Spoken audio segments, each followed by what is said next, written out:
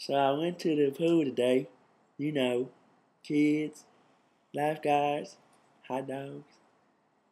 And I was gonna do a cannonball, but the sign with the stick man on it said, no cannonballs, no jumping in the pool.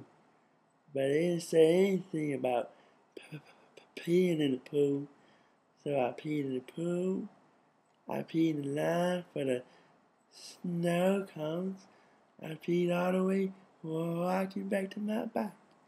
And boy, was that a fun day at the public pool.